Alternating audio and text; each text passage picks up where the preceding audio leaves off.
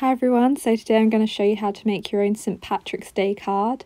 So first of all you need to print out the templates, which you'll then cut out to make your card. These templates you need to cut out of coloured card.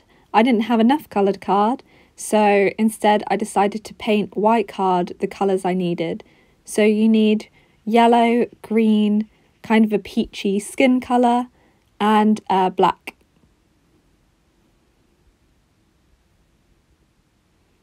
So I've cut out two of my pieces and I'll show you how to cut out the face. So I've put my template onto my coloured card that I painted and I'm going to first of all with a pencil draw the outline. Once I've drawn my outline I'm going to cut it out following that line.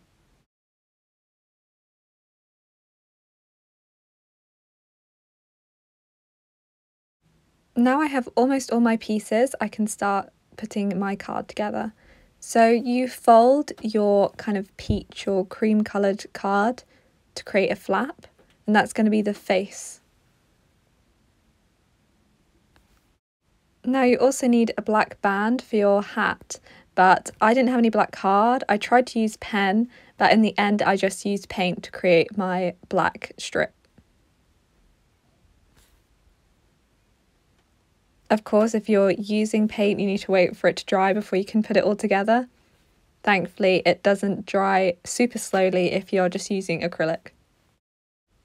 Now I can start sticking down all my pieces to make my card.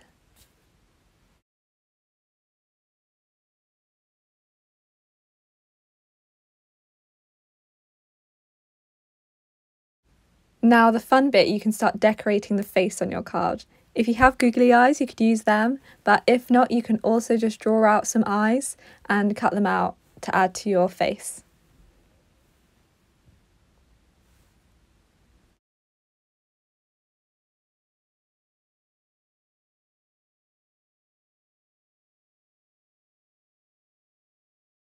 For the rest of your face, you can just draw it with a pen, make him nice and happy, and you can even add some freckles. Now to decorate your hat with your black band, and you can also decorate with a shamrock. You can just draw that with a green pen and cut it out.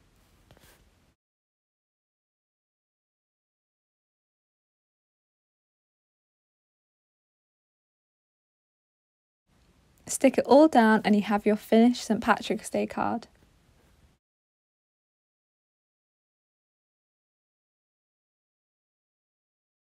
All that's left to do is to write a nice message to whoever you're going to send it to.